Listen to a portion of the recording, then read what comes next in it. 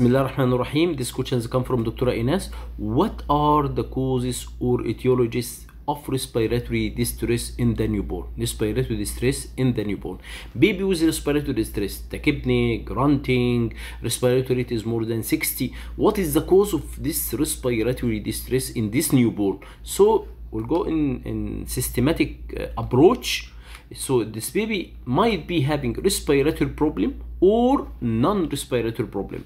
If respiratory, it will be pulmonary or extra pulmonary. Pulmonary, the most common, especially if the premature babies, it will be RDS, uh, respiratory distress syndrome, or uh, associated with uh, complication uh, RDS complicated with pulmonary hemorrhage or pneumothorax. Or this patient if the full term it will be uh, neonatal pneumonia or meconium aspiration especially if there is history of meconium or there is uh, intrapartum asphyxia.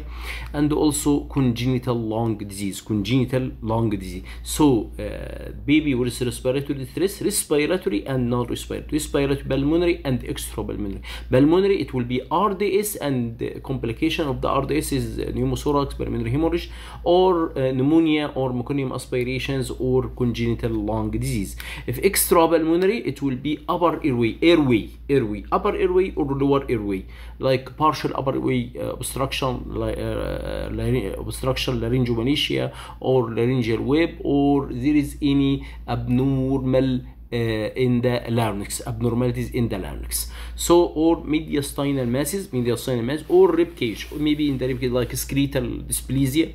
Uh, or skeletal disorders or diaphragmatic pathology. Diaphragmatic pathology, it will be congenital diaphragmatic hernia or diaphragmatic eventration or diaphragmatic eventration. The extra uh, respiratory or non-respiratory, it will be cardiac. Cardiac, the patient will present it with uh, murmur or cyanosis or heart failure. This is a common presentation of the cardiac disease.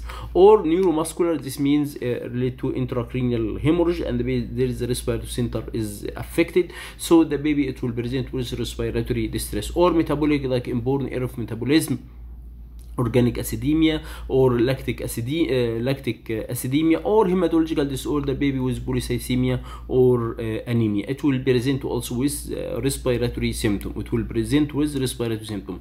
So what are the most common causes of respiratory stress in the newborn? It will be respiratory and non-respiratory. Respiratory and non-respiratory. Non-respiratory it will be cardiac and neuromuscular metabolic and hematological disorder. Respiratory it will be pulmonary and extrapulmonary. Pulmonary RDS and its complication, pulmonary hemorrhage or pneumothorax or pneumonia and meconium aspiration or congenital uh, lung problems.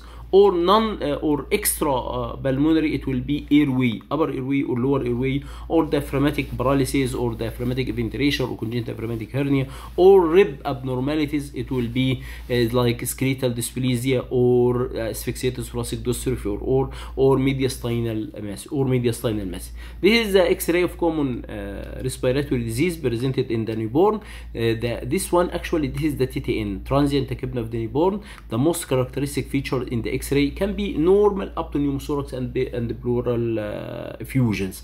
If you see this is characteristic of the air. If you see here, this is fissure. You see this is you see fissure. It will be it, in the fissure here the fluid in fissure you see? Fluid in the fissure fluid in the fissure you see?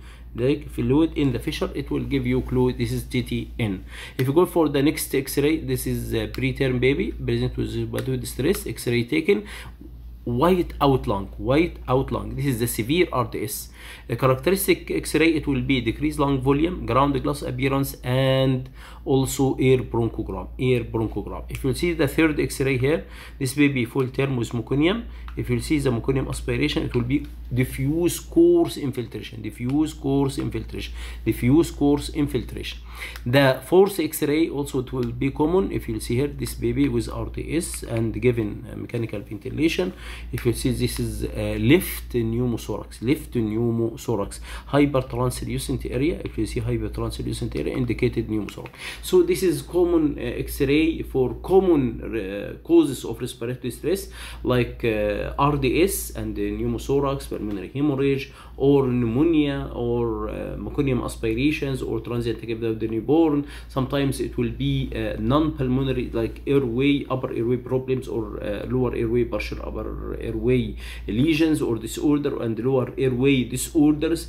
And sometimes the diaphragmatic diaphragmatic paralysis eventrations or congenital diaphragmatic uh, hernia or mediastinal masses or rib cage. There is any uh, skeletal abnormalities. Extra uh, respiratory or non-respiratory cardiac it will be cardiac. It will uh, be, be presented with uh, what is the common uh, symptoms with cardiac problem. It will be cyanosis heart failure or murmur can be presented with murmur actually.